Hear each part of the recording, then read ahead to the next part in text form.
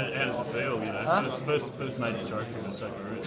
Yeah, unbelievable. I think we know we've been one of the better teams in the tournament during the whole tournament. And just happy that the hard work and the belief that Ange has had in us has paid off.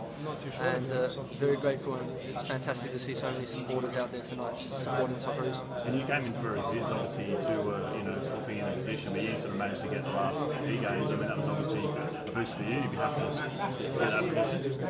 Ange has a reason of picking each individual for every game. So all I can do is do my talking on the pitch and work hard. And every time I represent my country, that's an opportunity to, to grab. So I'm just thankful for Ange um, for always having belief in myself and. Uh, you know, working hard and to, to win the trophy tonight is something you know very special.